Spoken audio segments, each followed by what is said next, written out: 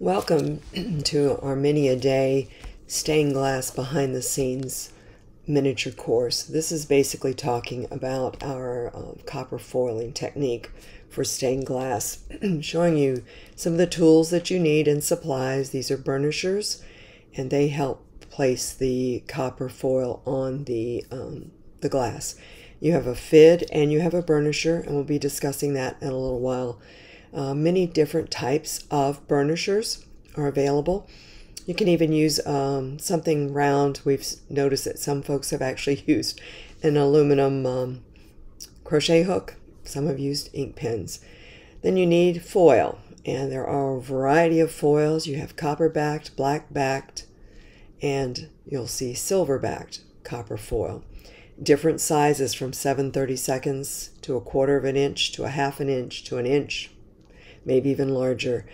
Your stained glass is going to be three, three millimeters wide, so you need to cover that. It depends on how much foil you want to cover, how much solder you want to see on your piece. I've used the 732nd primarily, but I've also used the quarter inch. And these are typical holders that can hold your copper foil so that it doesn't uh, run off with you because it's very slippery. So this is one of the holders and this is a tool caddy that can hold your soldering iron. After you grind your pieces and you know that they're they're going to match and I'm just using clear glass just to show examples of the foil. Um, this is silver backed copper foil. It's copper on the outside, silver backed on the underside and it has an adhesive. And the reason it has an adhesive is because you're going to lay it right on your piece. You center your piece on the foil and you just wrap it around. And that's the reason you grind it so you have this matte looking surface so it's rough enough that it will attach to the adhesive. Now many of you have asked why do you do silver versus copper versus black? The reason being, and that's the reason I'm using clear glass, I'm going to show you. Okay, you come all the way around. Try to overlap it exactly the same. But if you don't, you can always use an X-Acto knife. I'm going to tear it so I can do that. It's not going to be a perfect sticky substance. You need just enough to get it on the glass. Alright, I'm going to leave it off like this for a reason. Next, you're going to wrap it over the side. Okay, now, I want you to look through. Do you see the silver? You're going to use a silver patina because we're not perfect. We may make a mistake. The silver patina is a colored patina that you put on the solder that matches the backing of your copper foil. So just in case you went over a little bit, it won't be so obvious. The other thing you can do is use an X-Acto knife. So once I get it to the other side, I'm going to smooth it. Now you can use a FID and push in corners. I personally like the burnisher, I've, but you can also use an ink pen.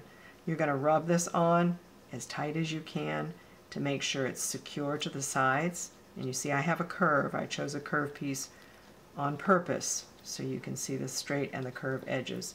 You go all the way around, then you start securing the sides. I like to do my ends first. You'll find your own personal preference. And also, when you're starting the copper foil, find the area that um, maybe has a little more of a space and you can put your copper foil there. Now let's say I don't have enough here. Take it and readjust it. You can always add another piece of foil if you have to. Because this is going to be, you're going to put flux on this and you're going to solder it to your each piece. This basically is a conduit, if I'm saying that correctly, to make sure your pieces um, work together. And you can see already I have silver on the other side.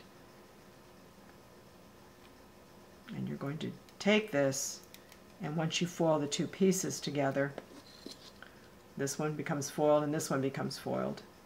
And then you'll have it the way you want it. I'm going to actually fix this because it's that would make me crazy. But um, but you can also take an X-Acto knife and come along here and trim off some of this. Let's do one more piece. Okay, so this is the black backed copper foil. check it make sure it has enough adhesive. If it's been sitting out and it's been oxidized, you may not have enough sticky, technical term, to make it work. And if you don't, then it's not going to stick to your piece. But um, you might go to the center of your reel and see if possibly there's some that's still preserved. If not, you'll just need to get some new. Okay, now I'm going to check here to make sure I'm centered. If not, I can fix it. And I overlap just a little. It just depends too. If you have a big space, you might want to overlap quite a bit. And this is also when you would put in your um, copper wire if you needed to um, expand a space that you have a big gapping, gap in. All right, so that looks pretty decent. Now, oh, the other thing I was going to tell you with this FID, many times we'll use CAME, uh, especially zinc, and you want to be able to push your pieces under the edge, and that's what this comes comes in handy for. So again, rub it, burnish it all the way as hard as you can without, don't break the glass or hurt yourself. And then just go around, push in your ends. You can use your fingers. This is just a tool to help you. You find what works best for you and then just stick to that. And you can see the black under here. That's why I use the clear so you could see. That's a black backed copper foil. And even though it's pretty even, I can still see just a shimmer of that black line.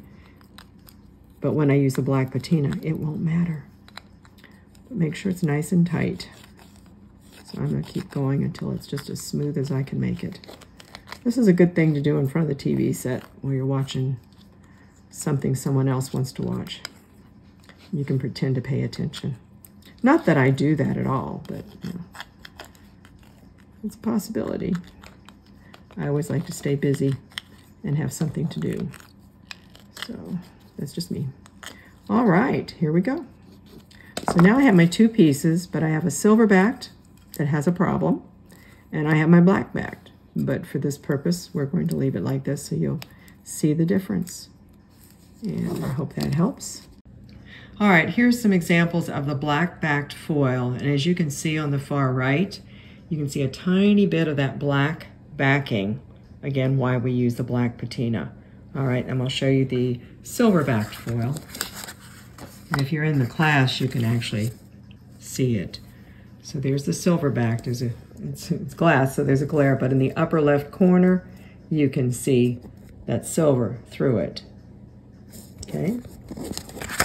Then we have the copper backed. And you'll see the outside of the copper is oxidized, but that's okay. The flux will still attach to it as long as it adheres to the glass. And I have to say, did a pretty good job, except for over here, you might see just a tiny bit of the copper. But that's, um, that will be taken care of with the copper patina. Now, this is for all of you who've been paying attention. what's wrong with this piece and how can it be corrected. You'll have to stay tuned or contact me and I'll tell you. Can't wait to hear your message. Our next session, we'll learn to solder. See you later.